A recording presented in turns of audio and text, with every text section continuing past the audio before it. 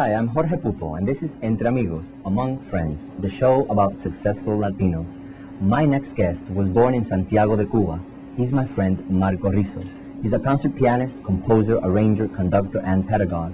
His long and fruitful association with Desi Arnaz eventually led Marco to come on board the I Love Lucy show from 1952 to 1959.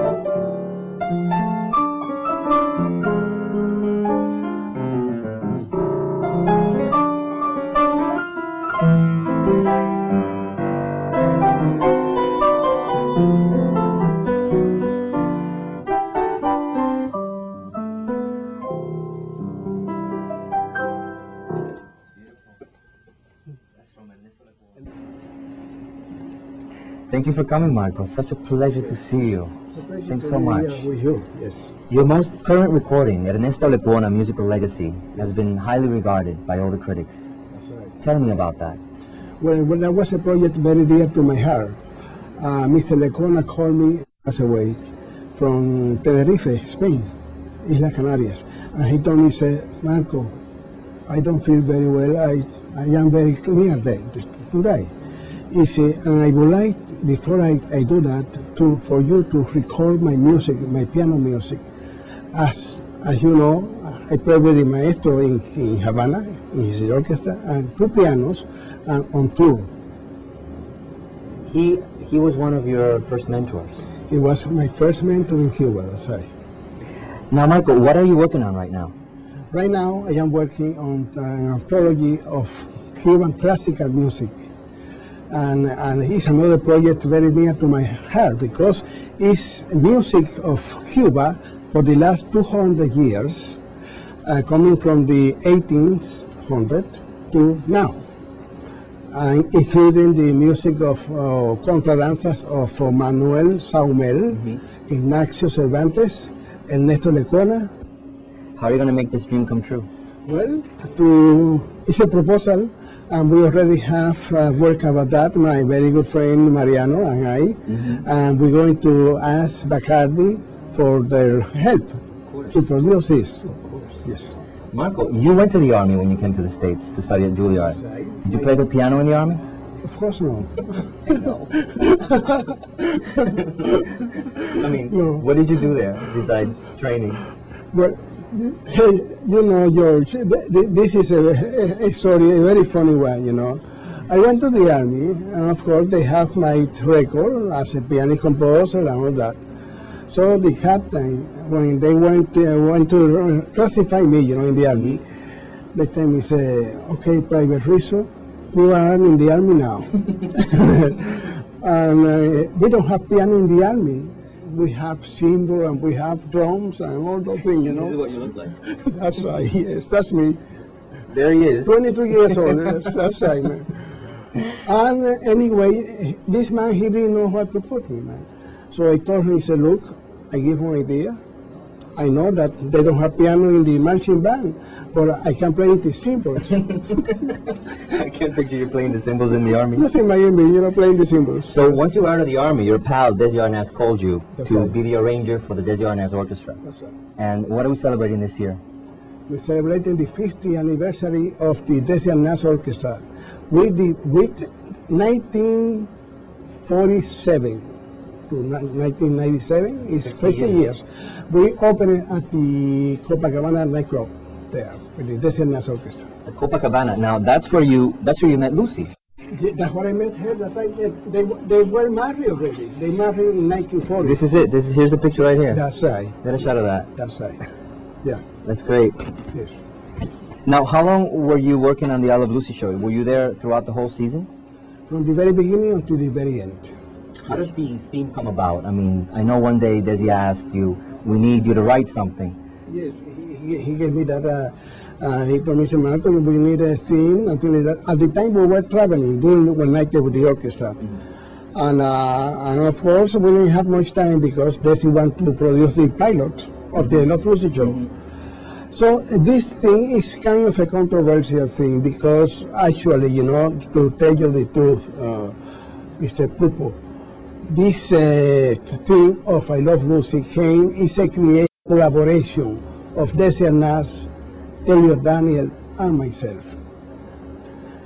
I did wrote the original Lucy theme has some Cuban rhythm and melody that Desi liked very much, and we played a lot prior to the I Love Lucy show. You see, so to make it clear, is that uh, when the show was there and uh, the for the pilot, we did that with the added addition of the Cuban 16 bar, which I brought myself that.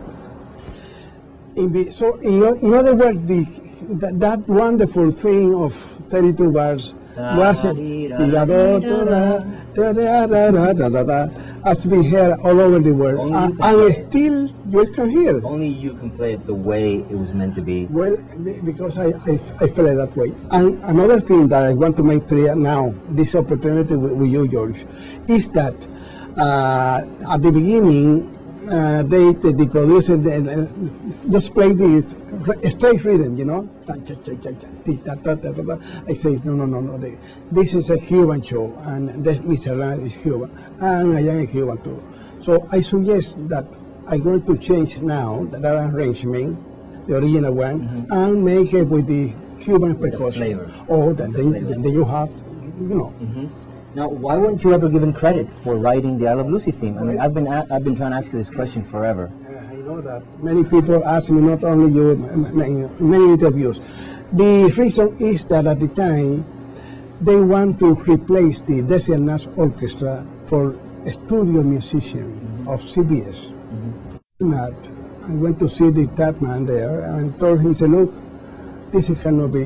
He said, this is my orchestra. Mr. Rizo has been my music director since I was a kid. I know this man for all my life. And he knows me, my style, and he's staying as far as I am concerned. Otherwise, just forget about the I Love Lucy show. Hmm. And you were on the show because I mean, I, I see you there all the time. And Exactly, and in many episodes, they give me credit. In some of the episodes, the one with the trunk, When you speak, when you come in with Desi, with and, Desi, and Lucy's stuck in the uh, trunk, and and, Desi, starts going, uh, "Blah, blah, blah." Eh, Exactly, that's right. He said, esta mujer está loca, Marco, ¿qué te pasa, chico?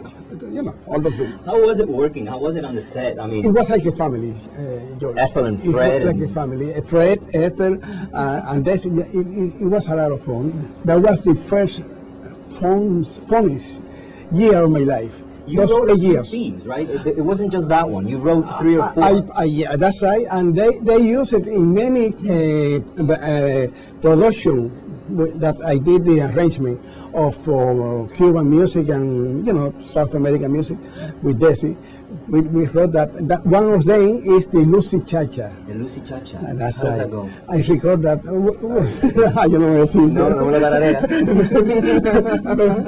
but uh, it was at the time that the cha-cha was very popular. So uh, uh, Lu- back. Lucy told me, I know it's coming back. Uh, The Cuban Why music don't you. Why don't you do a, a reissue of, of, of those I, of I- all those themes? I am planning to do that. Yes, with, with a big sound orchestra. Yes, big band. Big band. Big sound. Where are you going to be performing uh, Well, I you have, uh, as you know, uh, a wonderful performance at the at the Carnegie Hall Recital Hall uh, with the music of Lecuona. Uh, was a sold out. Oh wow. And, and uh, pri- pri- prior to that, you went to the Lincoln I Center. went to Bruno. uh, Bruno to- with, the, with the two pianos outside. I saw you at, at Carnegie Hall one. Carnegie Hall, that's right, yes. And that was one wonderful. I, I only regret, George, that uh, they didn't record or they didn't make a video, you know, Yeah. because it's for history, you know. Marco, when I see you up there, I mean, your hands are like, your hands are like a child's hands. I mean, they, God bless these hands. I mean, they are amazing. You know. I, I have practiced every day, two or three hours, because I have to keep my fingers uh, nimble, you know. Uh, so what is it about pianists? I mean, Duke Ellington, he lived to be well into his, you know, It- it close maybe to, 80. close to 80, close Yeah. to 80, about 79 he died and he passed away, that's right. But music uh, is such a, a privilege. I, I, I am a very happy man. I am, uh, my, my spirit, my mind is all music. Since I was six years old, I started music. At seven years, my father was my first teacher. I started playing piano. Wow. And from now on, what I can say, Marco, you're going to live forever. Thank you so much. I think so. Thanks so I much think for so. coming. It's And been a please pleasure. keep playing. God A bless these pleasure. hands. Thank you.